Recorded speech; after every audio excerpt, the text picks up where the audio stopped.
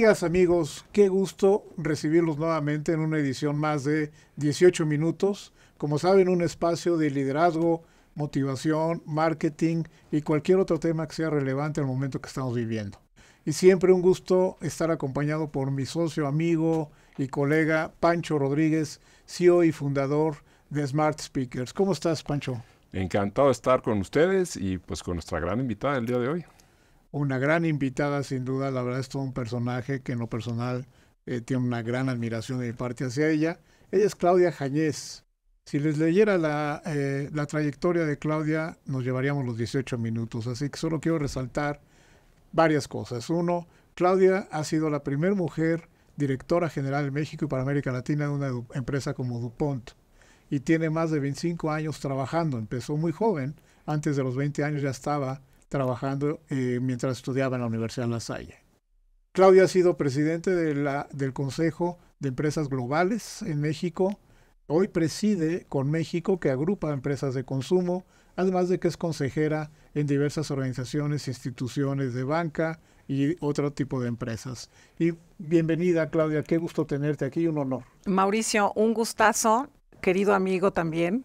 Eh, Pancho, un gusto. Eh, gracias también por todo lo que haces por este país. Eh, un, gran líder. Un, placer estar con ustedes. Muchas gracias, Claudia. Gracias por acompañarnos. Y una vez que Claudia deja la vida corporativa, debo presumirles que yo sí tengo su libro autografiado, que se llama Autoestima Profesional. y yo quisiera, Claudia, que empecemos por aquí, esta etapa más reciente de tu carrera y de tu experiencia incluso personal. Me llamó muchísimo la atención el, simplemente el título, Autoestima Profesional. Platícanos un poco de ello.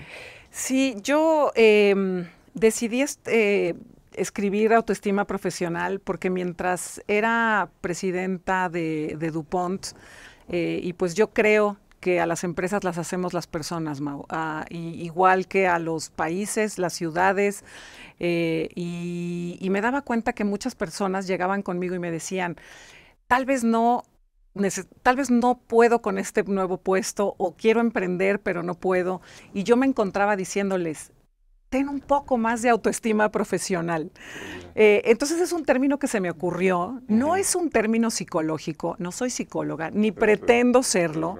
No es un libro de autoayuda.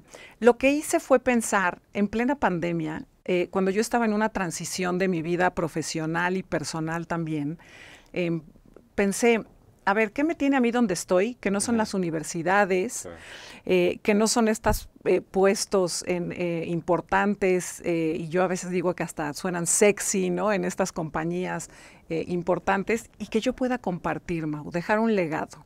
Entonces, em, ¿y qué he hecho yo distinto o, que creo yo que me ha servido para llegar a esto, a, esto. Y entonces se me ocurrieron estos ocho pilares de la autoestima profesional y lo que hice fue reunir anécdotas de mi vida, ejemplificando estos ocho pilares. Eh, y no nada más anécdotas de mi vida profesional, eh, ya en cargos directivos, sino anécdotas de, mi hijo, anécdotas de algún viaje, que ejemplifican estos ocho, ocho pilares eh, de la autoestima profesional. Y lo hice con el mero propósito, Mau, de compartir.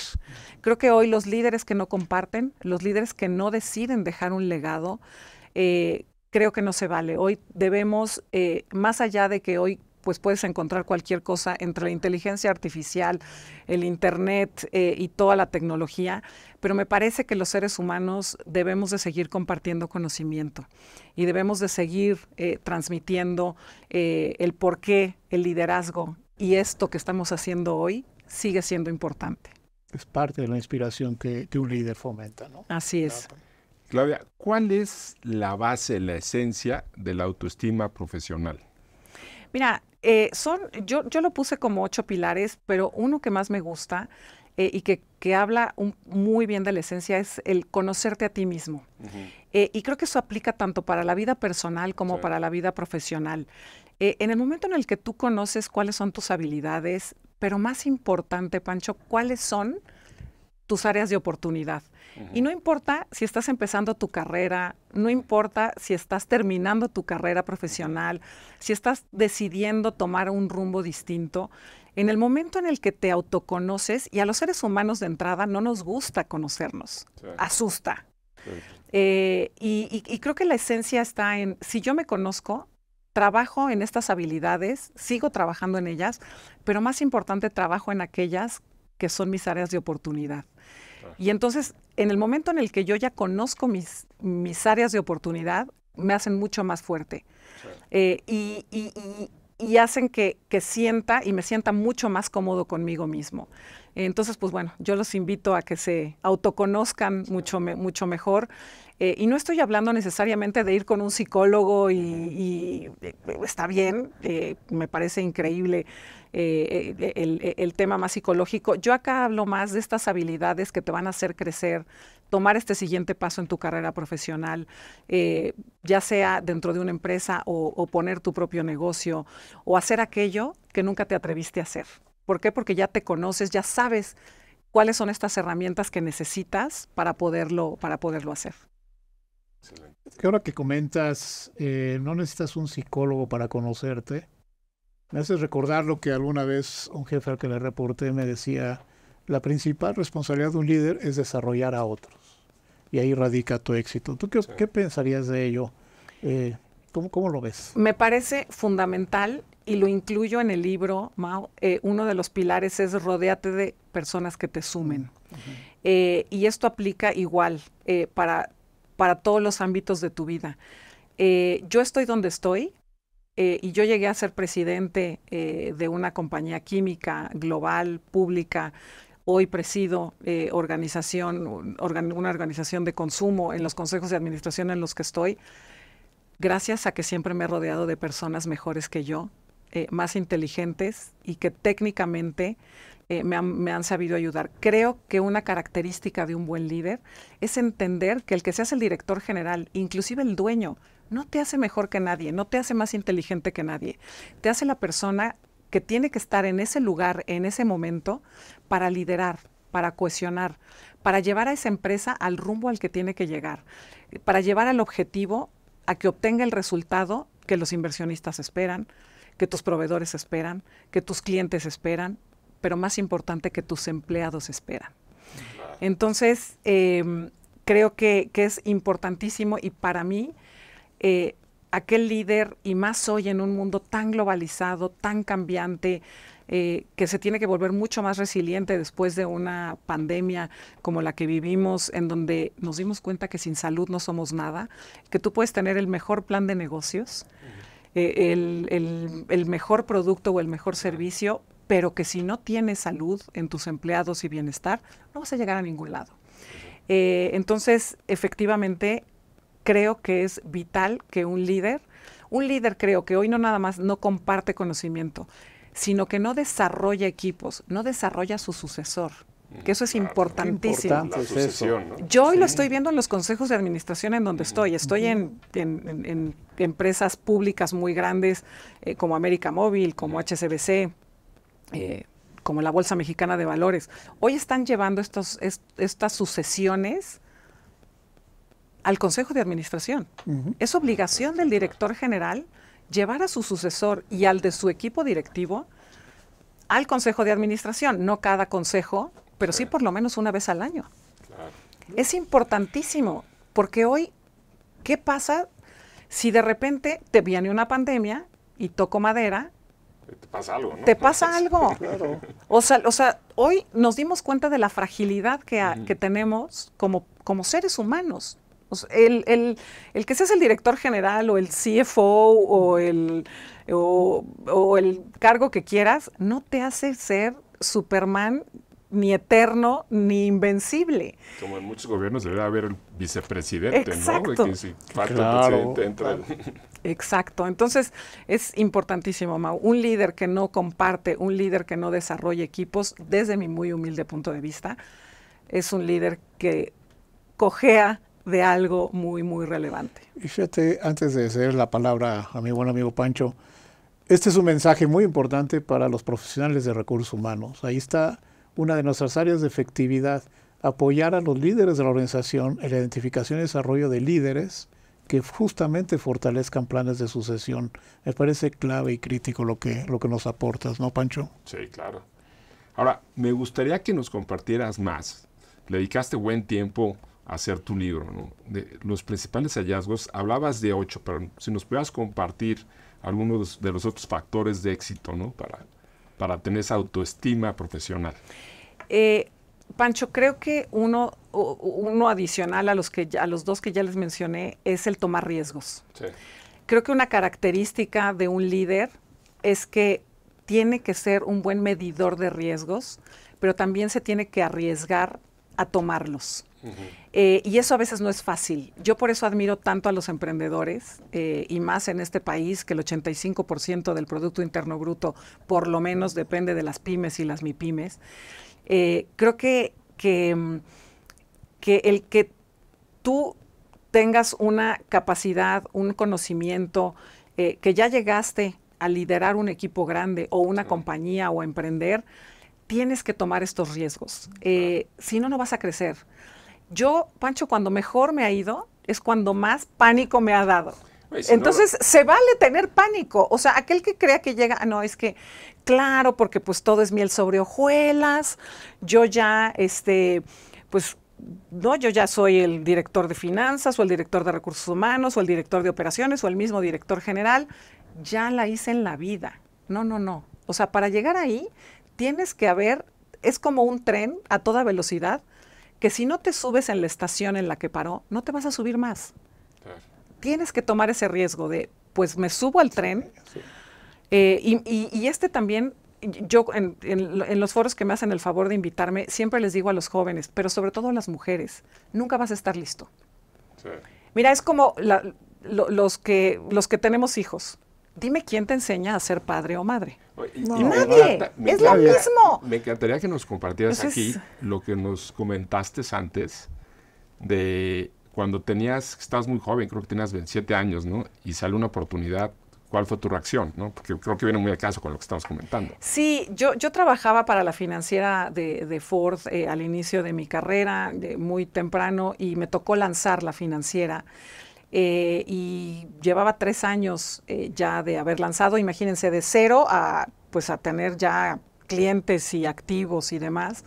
Eh, y, a los tres años, yo te habré tenido unos 27, se va el que era el director del área en donde yo estaba, y pues yo dije, yo puedo, porque para mí era como haber tenido un bebé, ya saben, pues de, que la compañía estaba en cero, que me tocó lanzarla a tres años después, pues conocí en realidad la esencia, como dicen, ¿no? Las, las venas, las vértebras, el cerebro. Eh, y alzo la mano y les digo, oigan, denme la posición. Y me dicen, no, Claudia, porque estás muy joven. Eh, y yo, bueno, pero, pero no, no, no vais a creer que me decían, no, Claudia, como hacemos hoy de, no, porque mira, pero vete y tómate un curso de sumar y restar, este, no, este, ponte a leer, este, no, y punto. Y, la única razón que me daban en ese entonces eh, era la juventud. Este, la juventud. Y entonces yo dije, mm", y estaban entrevistando gente mucho más grande y, y entonces yo dije, bueno, a ver, un día sí me puse a pensar y a ver qué puedo, qué, negociación puedo hacer. Eh, eh, que esa es otra característica de la autoestima profesional, que no la pongo ahí, pero está entre líneas, que es tienes que saber negociar tu carrera. Tienes que ser un negociador de tu carrera, pero bueno, ahorita hablamos de eso si quieren. Pero el punto es que y entonces yo dije, este, eh, voy a, les dije, bueno, denme seis meses. Si en seis meses puedo, pues ustedes me dan la posición, me confirman bombos y platillos, ¿no? Este, y si no me despiden y ya está. O sea, tan amigos como siempre. Tomaste el riesgo de, decirles, incluso me despiden y no me den encargo ahorita, ¿no? Pero con base a su autoestima y confianza en sí misma, que eso es lo que es el principal driver, ¿no? Así es. Qué, increíble. Hoy quisiera abordar, eh, porque me pone nervioso un poco el tiempo, viendo el cronómetro, amigos y amigas. Eh, no quiero eh, dejar de hablar de un tema que me parece muy importante y que abordas también aquí. ¿Qué pasa cuando algo no sale como tú querías? Comet, digámoslo así, un error y has sido lo suficientemente resiliente para convertir eso en aprendizaje. Cuéntanos un poco de ese proceso contigo. Me parece muy importante, Mau. Mira, yo me caigo bien.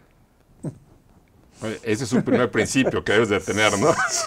Soportarte a ti mismo. Pero que no es tan sencillo, Pancho. Suena, suena sencillo, pero no. Suena sencillo, pero no. Dense la oportunidad de caerse bien.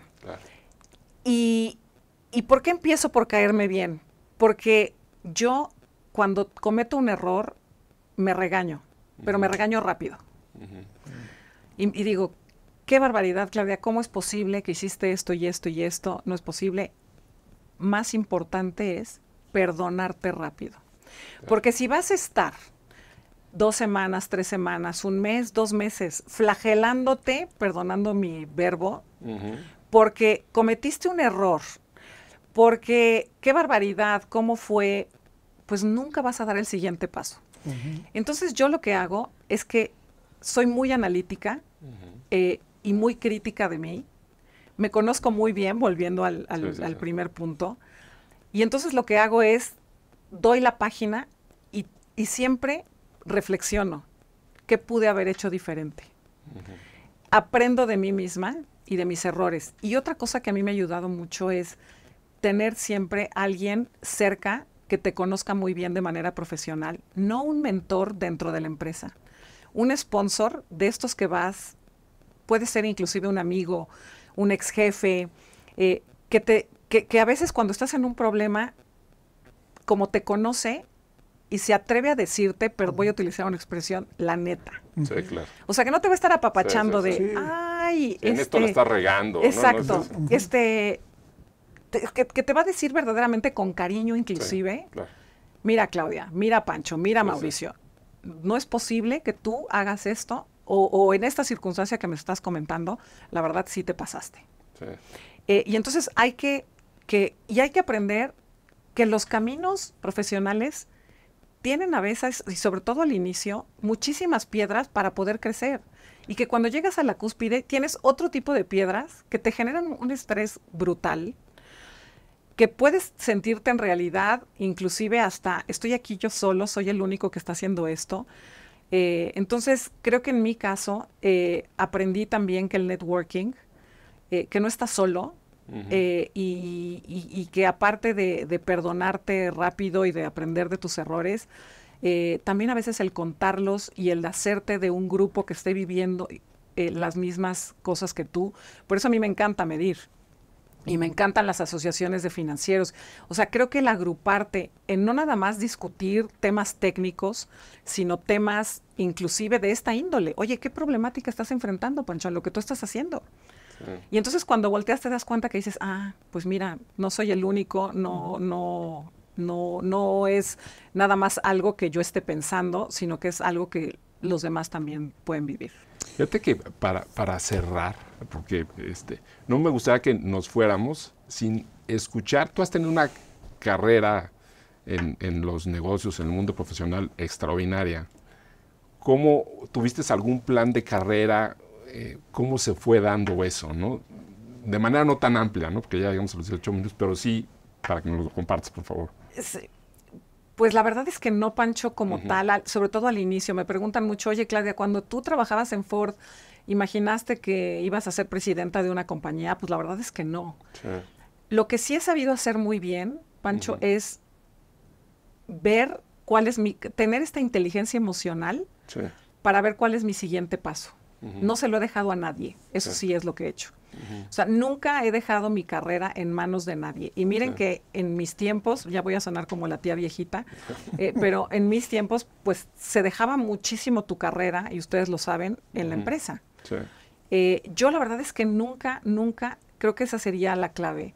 Más que tener algo muy claro de cuál es mi siguiente paso, lo que sí he hecho es veo cuál es el entorno, veo en dónde puedo encajar y lo persigo como ahora que pues estoy en consejos de administración eh, y ya no necesariamente en el, en el mundo corporativo. Ahora, en vez de convivir con una, convivo con decenas de empresas, Correcto, me tiene muy feliz. Ves tu objetivo y vas con todo sobre él, ¿no? Exacto.